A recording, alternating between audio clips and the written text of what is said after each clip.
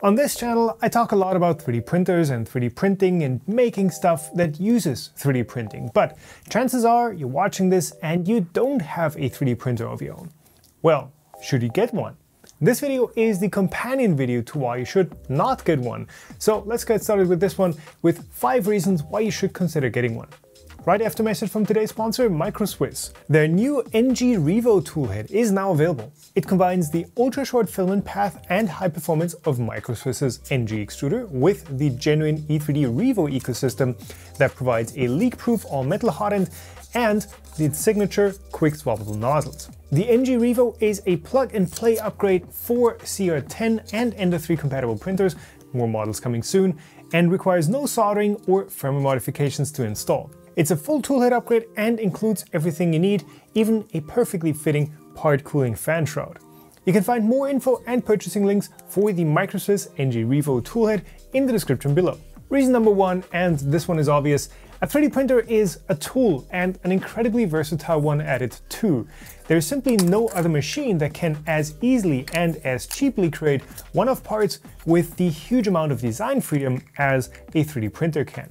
Sure, there are other automated manufacturing tools like laser cutters, CNC routers, knife plotters that are all capable machines in their own right, but each one of those is much more specialized than a 3D printer. And yes, when it comes to functional parts like cases, brackets, adapters, you can make many of those parts that you would print just by using basic hand tools too, but making more than one can be tedious and small adjustments to design often require starting over with the laborious process of crafting the part from scratch on a 3D printer, you can make any adjustments you need on your computer and then just reprint it as often as you want. And don't underestimate the capabilities that printing plastic parts gives you. There's a pretty wide range of filaments available uh, if you've got a filament-based printer or resins if you've got a resin printer. And not only can the parts be much stronger than you'd expect based on what you might be used to from cheaply made mass-produced plastic parts, but there's also different materials available that are either especially tough, rigid, flexible, heat resistant, easier to print, self-extinguishing, you name it. There's probably a material out there already. And the parts are, you know, reasonably accurate and precise. Any half-decent printer can easily make parts that fit to each other and to existing parts, so screw holes or pop-in fits are totally doable. Yeah, that works. And 3D printers aren't just useful for mechanical stuff. That's just what I happen to use them for the most. Remember that design freedom I mentioned earlier?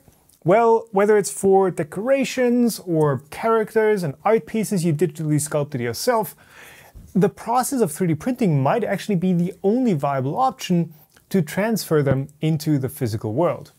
And they're gonna look pretty cool too, because not only are materials available with different mechanical properties, but also in basically any color and finish you want. Matte black? Sure. Sparkly purple? Absolutely. Metallic gold, orange, that's actually a translucent red? Yeah. Number two, it's so much more than a tool. It's a lifestyle, if you want it to be.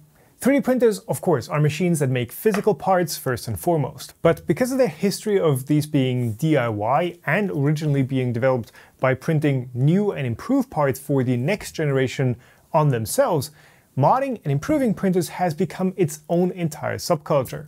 Yes, there are capable printers that will work great out of the box with zero modding and tweaking required, but on the same token, there are entire families of printers that pretty much only exist as a base to be modded, and where you typically already have a list of upgrades and improvements that you do before you even use it for your first real print. For every single part that even has the chance to be flawed in a super low cost printer, there's already a dozen different upgrade kits available.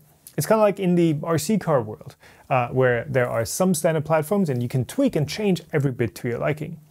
And when tinkering with just one printer simply doesn't do it for you anymore, there's a whole world of scratch-built machines out there to explore, typically with features and capabilities that exceed what you could get off the shelf. My first machine was a fully scratch built one, and I still do enjoy the experience of spending a couple days sourcing and then building a brand new machine from individual parts. I should do that more often. There are so many options available now, not just for the machine parts themselves, but also for software, configurations, and accessories uh, around the machine itself.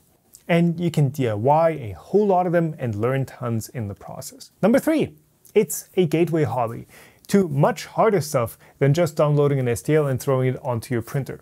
Though that is pretty useful still. No, but 3D printing has so many opportunities to peek into other skill sets and adjacent crafts and hobbies. The obvious one is CAD, computer aided design, which for what I do is the tool that has the best synergy with 3D printing. Over the years, I've learned to design anything from simple brackets to ridiculously complex projects in CAD that all eventually get printed and have a real world use. I've also dabbled in more art-focused 3D tools like Blender, and I've learned about 3D scanning and NURBS and working with the data that gives you. And that's just the design side of things, where just by exploring what's there, you've naturally got so many contact points with adjacent tools and skills to what you're already doing. When you're messing with 3D printed configurations, you've also got the chance to dabble into programming. And since I've gotten into 3D printing, I've written tens of thousands of lines of code not related to 3D printing at all, simply because it's something that's interesting and useful to me. And not only does 3D printing get you in touch with skills that are tangentially useful for 3D printing itself, but the process is also quite similar to what you'd need for other more specialized manufacturing processes like CNC machining that I mentioned before. You're not going to jump straight onto a 5-axis industrial CNC just because you've done a handful of 3D prints, but many of the concepts transfer over and at the very least give you a head start in understanding how everything works together. Number four, it can be a very unobtrusive hobby or tool for lack of a better word. Three sub-reasons here. First, 3D printing is super cheap to get into and to sustain. You can get a decent machine for 200 bucks and then consumables are around 20 bucks per kilogram for filament, which even if you're a regular printer user, can easily last you a month or longer. It's a couple dozen of, maybe not this big, but somewhere in between these two uh, small, medium-sized prints. These are mostly hollow, or about 75 of the ubiquitous 3D benchies from a single spool of filament. Compare that to getting into espresso, FPV drones, rock climbing, car modding, or whatever else people do in their free time. And 3D printing actually comes out as quite budget friendly, both in upfront and running costs. 3D printing also isn't particularly intrusive. You don't need a ton of free space. The machines aren't super noisy, and while you should have some ventilation and fresh air while printing, the smells that a printer working with standard PLA filament gives off aren't particularly expensive. It's like a warm, slightly burnt caramel almost. And lastly, 3D printing, at least with filament, is a pretty clean process.